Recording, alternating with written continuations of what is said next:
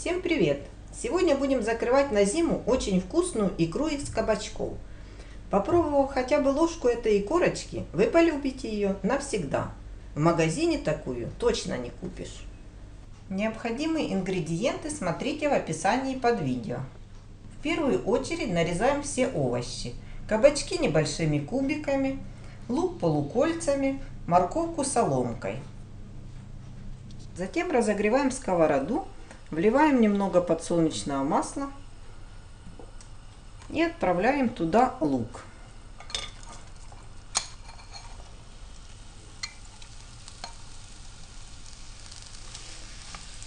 Жарим его до мягкости.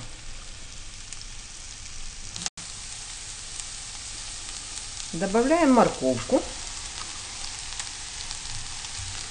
И жарим все вместе еще минут 5-7. Прошло 7 минут, наши овощи обжарились. Теперь выключаем огонь и перекладываем содержимое сковороды в кастрюлю.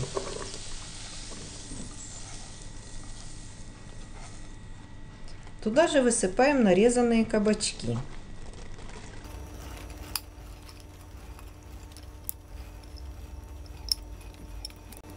Выливаем оставшееся масло. Хорошенько перемешиваем все.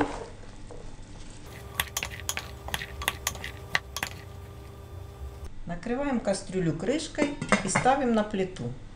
Включаем средний огонь и ждем пока закипит. Прошло где-то минут 10. Овощи пустили сок, почти полностью покрылись им и закипели. С этого момента засекаем время и будем варить ровно 1 час.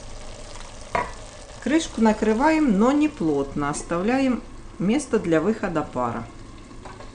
Вот так, крышечка должна быть приоткрытой.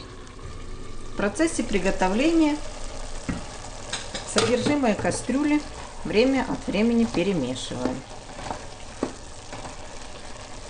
Варим на медленном огне.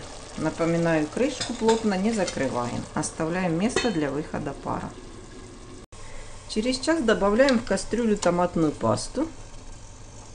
Разравниваем ее по поверхности овощной массы.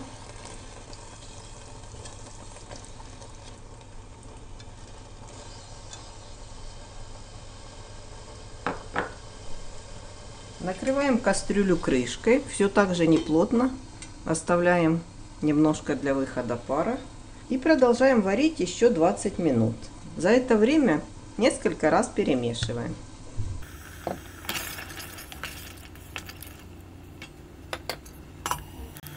По истечении времени добавляем сахар, соль, паприку, черный перец и красный острый перец. Перемешиваем хорошо. И варим еще 2-3 минуты. Затем снимаем кастрюлю с огня и превращаем овощную массу в пюре с помощью погружного блендера. Теперь добавляем уксус Перемешиваем.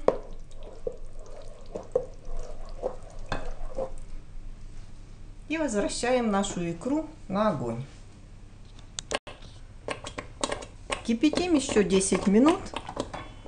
Время от времени не забываем мешать. Готовую икру разливаем по стерильным баночкам.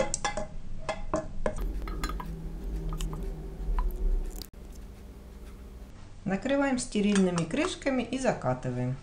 Закрытые банки переворачиваем вверх дном, накрываем чем-то теплым и оставляем в таком состоянии до полного остывания.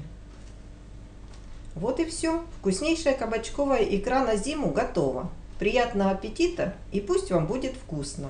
Если вам понравился рецепт, ставьте лайк и подписывайтесь на наш канал.